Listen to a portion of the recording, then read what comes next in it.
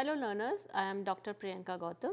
Uh, today here we are to discuss the senior secondary biology course. So, I am welcoming you at NIOS and today we are going to discuss on a topic nervous system.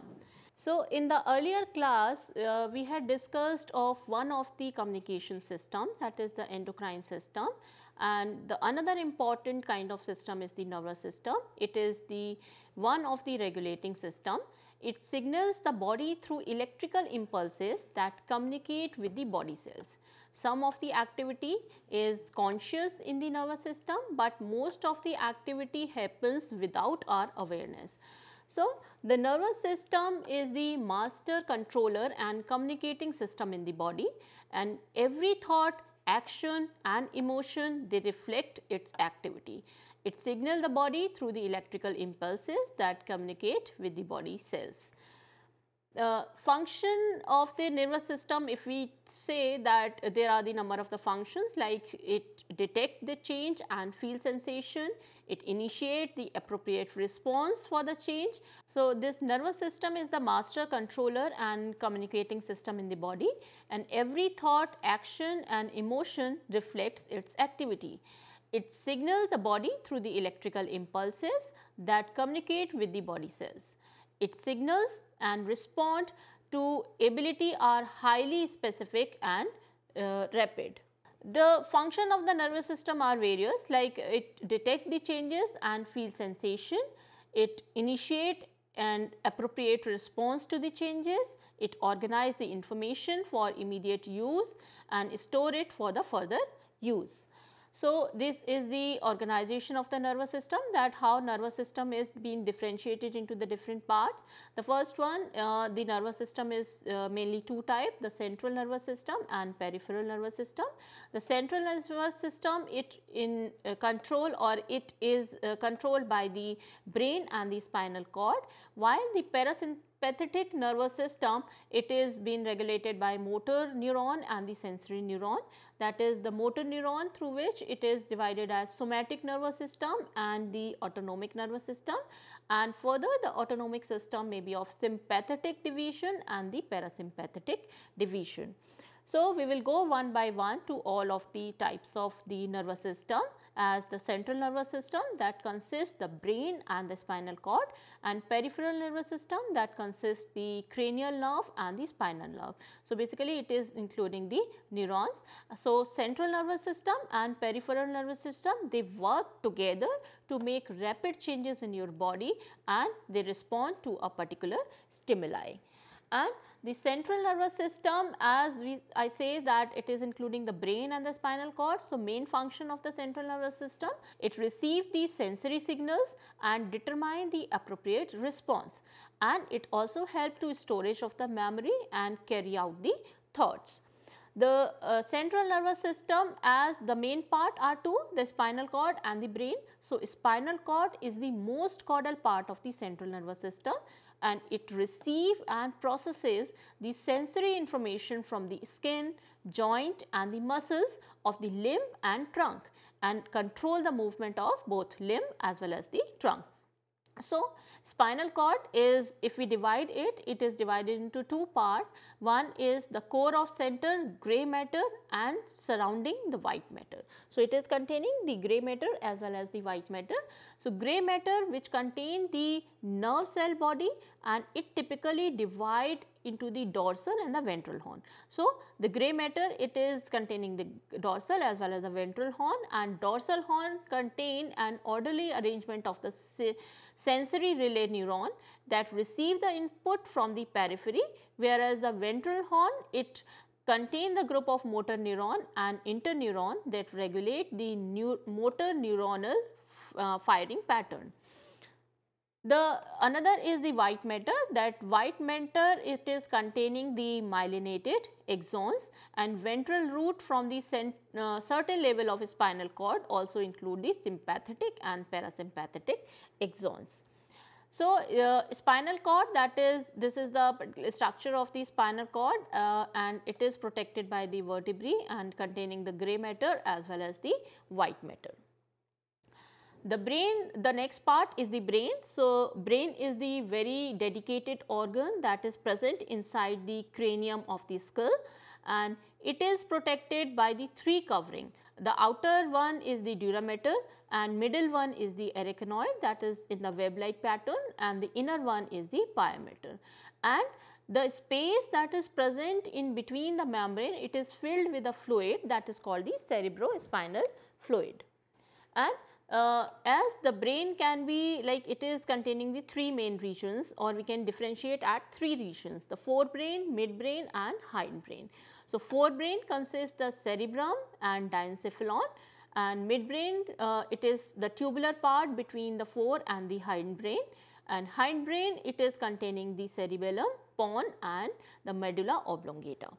So, the three part it is uh, showing the three part the forebrain, midbrain and the hindbrain.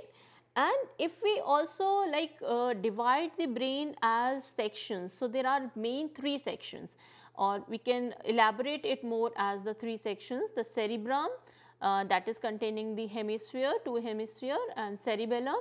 It control the balance and posture and coordination and brain stem that is controlling the various involuntary activity like the uh, breathing. So, first one is the uh, cerebrum. Cerebrum this is the largest part of the brain and it is divided into the two hemisphere uh, that is the left hemisphere and the right and their outer surface is highly convoluted with the ridges and the groove and each hemisphere is hollow internally and the wall have two regions. The outer region that contain the cell body of the nerve cell and it is grayish in color so called the gray matter and the inner region is composed of the whitish axon so it is called as white matter and corpus callosum is a sheet of the crisscross nerve fibers connecting the two cerebral hemispheres left. So, in the cerebrum, the left side of the cerebrum it controls the right side and the right side cerebrum control the left side of the body.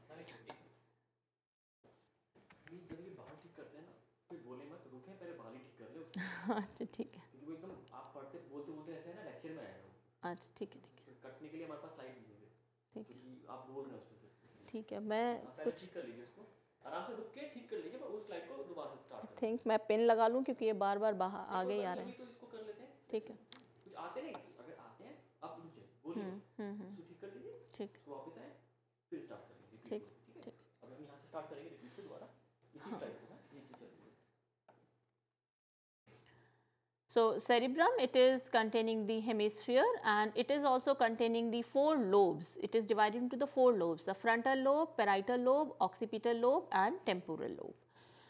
The next is the cerebellum. Cerebellum is the smaller region of the brain and it is located at the base and under the cerebellum.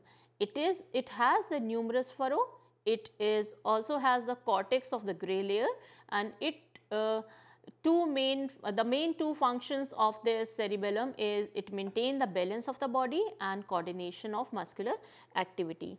So, cerebellum is the one that uh, is maintaining your balance. So, definitely if the cerebellum is injured your movement become jerky.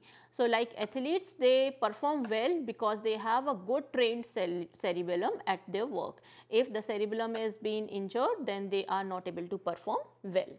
The third part or the third section is the brain stem. The brain stem is made up of medulla oblongata, pons and the midbrain.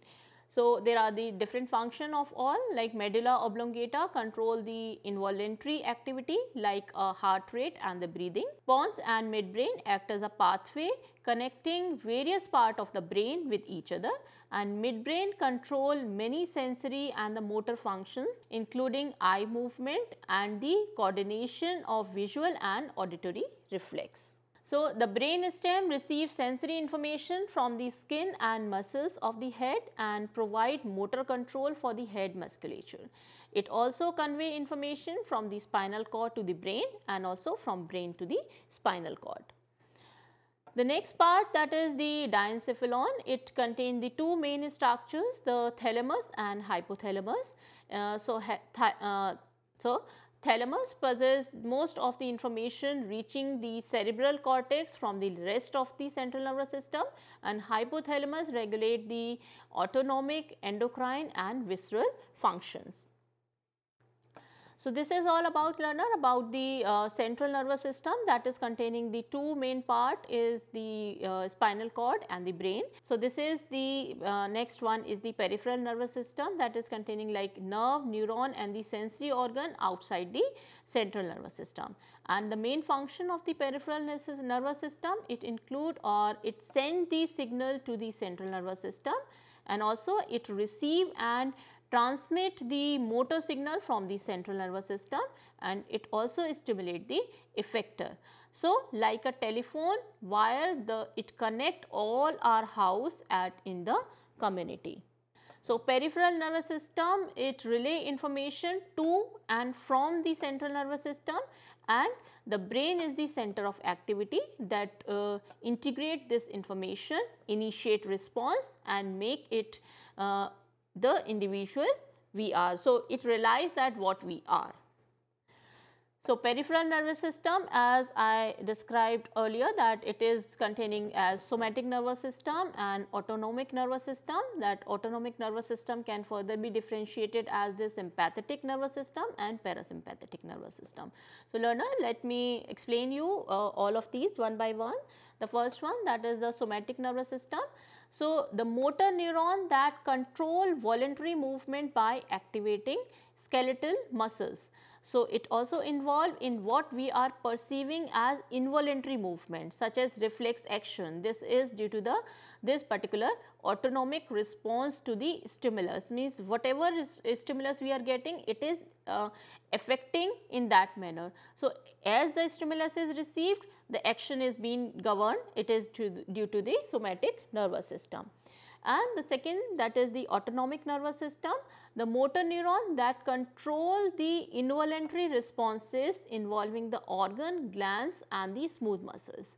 So, some voluntary control over the responses can come from the relaxation and medication which reduces the perception of stress and in turn reduces the stress response. The next division is the sympathetic division. So, portion of the autonomic nervous system, it is the uh, portion of the autonomic nervous system that is giving the fight or flight response.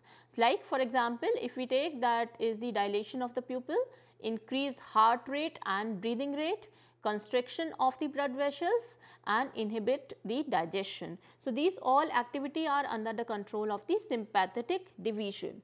The next is parasympathetic division. Just this is just opposite to the sympathetic division like it produces the rest and ruminate response. Like the constriction of the pupil, dilate the blood vessels, reduces heart rate and breathing rate and stimulate the digestion. So, the all the function it is just opposite to the sympathetic nervous system.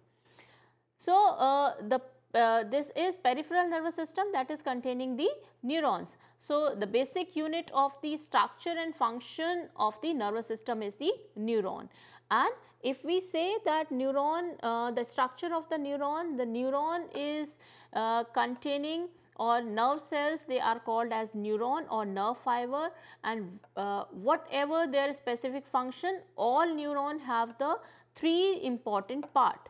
One is the cell body it contains the nucleus and is essential for the continued life of the neuron. So, it is very important part of the neuron. You will see the neuron cell body are found into the central nervous system or close to the trunk of the body. So, usually they are these are present near to the central nervous system that is brain and spinal cord. So, in these locations cell body are protected by the bones, but they are not or these uh, cell bodies uh, are not present in the arm and the legs, those are much more subjected to the injury. So, they are present in an area, those are protected area with the bones. Then uh, this is uh, like neuron as I say it is been uh, containing the three part. The first one was the cell body, the next is the dendrites and the third one is the axon. So, dendrites are the branch, uh, branch like extension that receive impulses and carry them towards the cell body and axons they are single extension of the neuron that carry impulses away from the cell body. So, the dendrites are receiving the impulses and the axons are uh, they are axons are extension that carry the impulse from the cell body. So, uh, the uh, neuron it contain the three part. The one I had explained as the cell body. The second may be as the dendrites. Uh, so, dendrites receive the signal and cell body integrate the signal. And third part is the axon that transmit action potential. And it is covered by the myelin sheath that makes the signal travel faster. And synaptic terminal transmit transmit signals. So, the dendrite it is the branch like extension that receive impulses and carry them towards the cell body and axons single extension of the neuron that carry the impulse away from the cell body. So, the axons branches out at ending to send the impulses to many different neurons. So, number of axons they are joined together. So, external ending the end of the uh, these axons are connected to the different neurons and dendrites receive impulses from many other axons. The peripheral nervous system axon and the dendrites are wrapped in a specialized cell called the Schwann cells. This is into the uh, other uh, eukaryotes. So, as I say that axon they are containing the myelin sheath. So, what is the importance of the myelin sheath? Myelin is a phospholipid that electrically insulate the neuron from one another. Without the myelin sheath, neuron would uh, short circuit just like an electrical wire would if they are not insulated. So, this is protecting the one axon to attach with the another axon.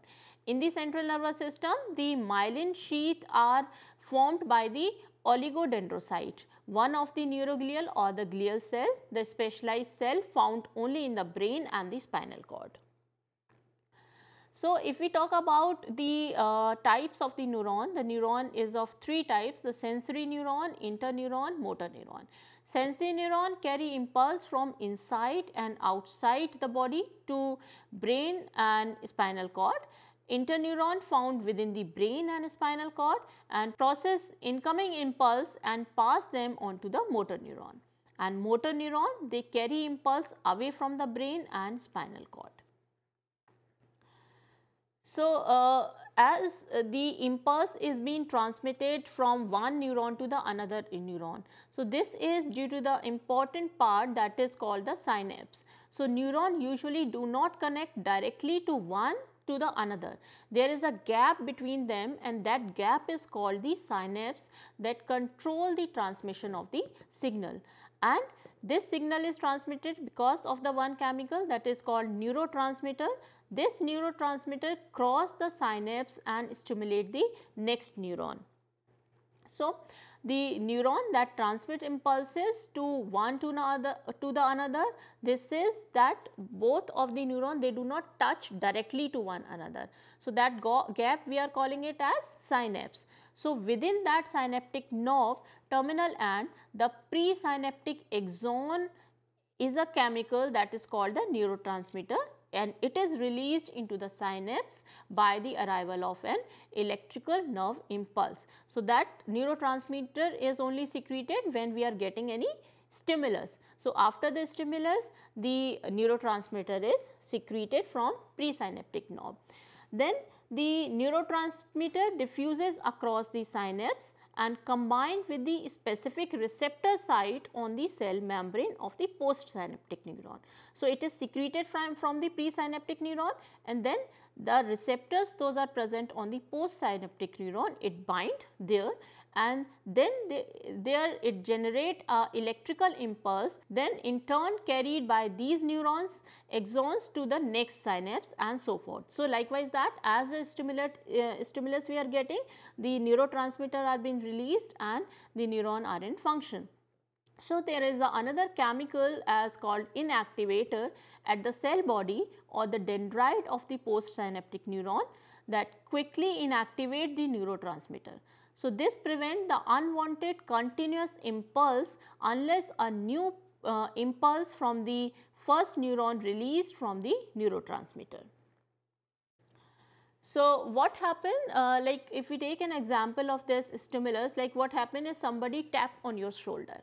So, there are a chain of reaction goes on like the uh, what happened first the receptor in the skin they sense touch or the other stimulus. Then the we have as the three neurons the sensory neuron, interneuron and the motor neuron. So, sensory neuron transmit the touch message then information is stored and interpreted in the brain and then a response this response is determined by the interneuron. Then interneuron transmit this particular uh, stimulus to the motor neuron that transmit our response message to the shoulder muscles. Then uh, after that when again the shoulder muscle uh, shoulder muscles getting the information or the stimulus uh, you just turn back to see that who has been tapped on your shoulder. So, this is uh, the example of the how the uh, neuron or this impulse is being carried out. So, uh, it is involving or we can say that uh, the uh, impulse transmitted or impulse transmission happen by the number of ways like uh, first the stimulus excited sensory neuron then depolarization takes place then repolarization takes place. So, impulse move across the synapse and with the help of the neurotransmitter. So, uh, the nerve impulse is started uh, simply a neuron not carry an impulse is in a state of polarization with sodium ion more abundant outside of the cell and potassium ion and the negative ion more abundant inside of the cell. So, positive is outside of the cell and negative is inside of the cell and this is the resting potential stage and the neuron has a positive charge on the outside of the cell membrane and negative charge on the inside of the membrane. So, how the uh, nerve are being functioning? They are functioning to generate a active potential. So, first the membrane is in the resting potential at which the outer is positive and inside it is the negative. Then uh, stimulus uh, like the neurotransmitter make the membrane very permeable to the sodium ion which rushes into the cell. So, the next stage comes that brings the depolarization state. This is a reversal of the charge on the membrane. Initially it is positive outside and negative inside. Now the outside now has a negative charge and inside has the positive charge. So further the nerve impulse getting the outer negative and the inner positive. Then as soon the depolarization takes place, the neuron membrane become very permeable to the potassium ion which rushes out the cell and this restore the positive charge again outside and negative charge again inside. So, this is called repolarization. So, one is the resting potential, then it is when the stimulus is there, it is gone to the depolarization state and then again to the repolarization. So, this is the this particular phase is called the action potential where the depolarization is followed by the repolarization. Then the sodium and the potassium pump return sodium ion outside and potassium ion inside and the neuron is ready to respond to another stimulus and transmit the another impulse. So, the action potential in response to a stimulus taken place very rapidly and it is measured in milliseconds. So, reflex action is the most important example of uh, this uh, kind of system the nervous system. This is the most simplest neural pathway in the that is the reflex arc and it is the two type the simple and the conditional and as well as we can, we can also differentiate it as the cerebral reflex and the spinal reflex. So, reflex action is the simplest neuronal pathway in the reflex arc and it is uh, of two types simple and conditional. Simple if we say that it is inborn or natural and conditional it is the outcome of the repeated experiences and it can also be differentiated as whether it is in involving the cerebral cortex that is the cerebral reflex and spinal uh, it is including the spinal cord that is the spinal reflex. So, uh, this is the simplest neural pathway as the reflex arc and this involve one or more sensory neurons, association neuron in the spines and motor neuron which carry out the reflex entirely before the brain is aware of the response. So, as the uh, any stimulus come directly these uh, action is being governed before the response to the brain because if we wait for the brain it may harm the body. So, reflex action is something that is as immediately some stimulus came and if it is harmful to your body directly the function occurs as a reflex action. So, this reflex action is an autonomic quick and involuntary action in the body uh, that brought about by a stimulus. For example, if we take like uh, you uh, immediately if you are touching a hot plate, okay, your body sense that it is hot and immediately you pull your hand. So, this is due to the reflex action like you may have a sensation like you may have the salivation into your mouth when you see some tasty food. So, these both are different form of the reflex action. The one is like if we we have been also categorized like it is a simple reflex action and conditional reflex action. So, simple is one that is inborn reflection and conditional when you are getting is by repeated experience. So, I had given the two example the one is that is inborn. So, if you touch the hot object you immediately pull your hand. So, that comes under the simple reflex action and conditional when you are getting repeated experiences like you have tasted some food and after that you like that food and again when you see that food you know that it is very tasty and you wanted to eat them. So, again the salivation comes and it shows the conditional reflex action. So, what is the mechanism, uh, mechanism of the reflex action? Some reflexes are brought about through the brain that is the cerebral reflex such as the closing of the eyelid due to the approaching object while the other are brought about by the spinal cord. So, it is the spinal cord that is functioning. So, this is called the spinal reflex. So, learners uh, we have learned the reflex action we can also uh, we can also go through this particular phenomena of the reflex action by this video. Uh, so, let us have a look on this video. Reflex action mechanism. In reflex action, fine tips that is dendrites of receptors that is sensory neurons quickly relay a message in the form of electric impulse via sensory nerves to the spinal cord. The spinal cord then sends information, impulse, via motor nerves to effectors that is muscles or glands. The reflex actions generally involve spinal cord for quick response to specific stimulus or otherwise the thinking process of brain may take time and delay the response which may harm the animal.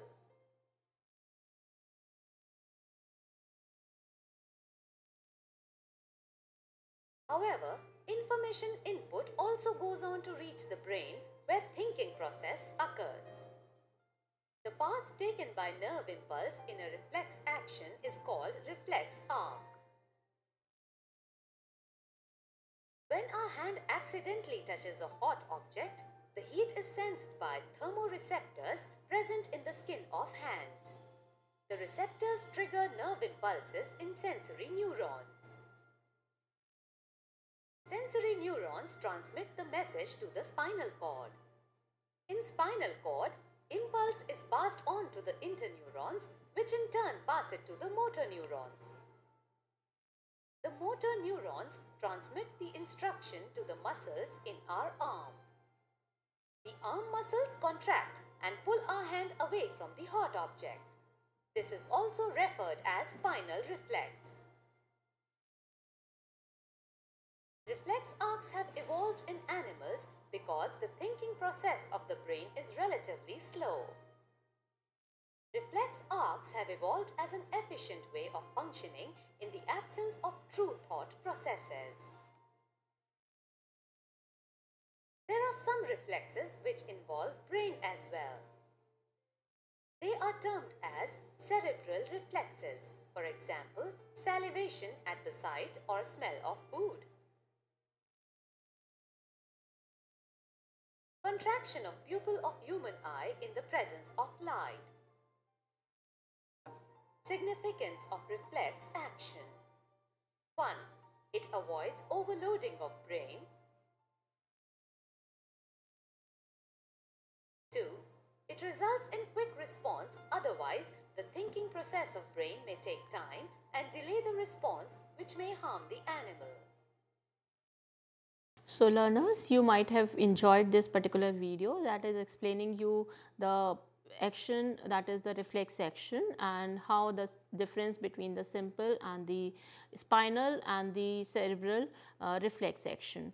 So, uh, in this particular chapter we had gone through to the uh, number of the things like what is the nervous system, how the nervous system is being differentiated as the central nervous system, peripheral nervous system, and what are the different parts of the central nervous system and the peripheral nervous system? And it is as differentiated as the sympathetic and the parasympathetic nervous system. As well as we have also learned what is the structure of neuron and how the nerve impulse is transmitted to our body and the one of the important example of the uh, reflex action is the when your body is uh, responding to any kind of stimulus. So, the nervous system is now as we know that it is the most important communication system to our body and it is controlling in a conscious way also and as an unconscious way both. So, thank you learners for your uh, attention and thank you so much for this particular watching this.